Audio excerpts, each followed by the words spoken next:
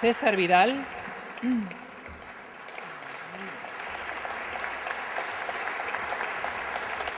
Vicent Villatoro.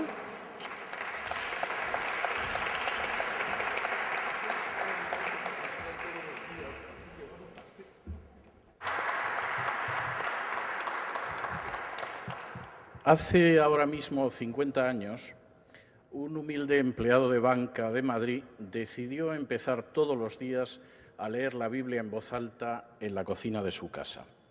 Las únicas personas que lo escuchaban eran su niño de tres años, su hijo único y primogénito, y su mujer mientras arreglaba las cosas de la casa.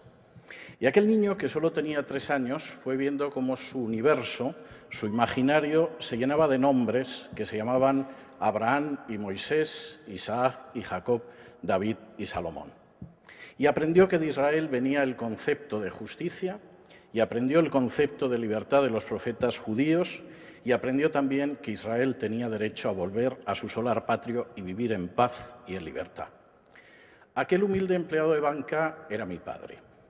La mujer que trabajaba en la cocina era mi madre y el niño de tres años era yo. Y en ese sentido, para mí siempre ha estado clara la posición frente a Israel. Yo soy el que tiene que dar las gracias a Israel porque ha modelado de una manera total mi pensamiento.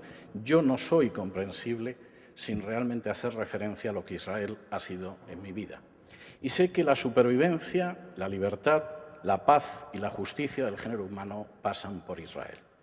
Muchas gracias, Toda Rabá. Am Israel Jai. El pueblo de Israel vive.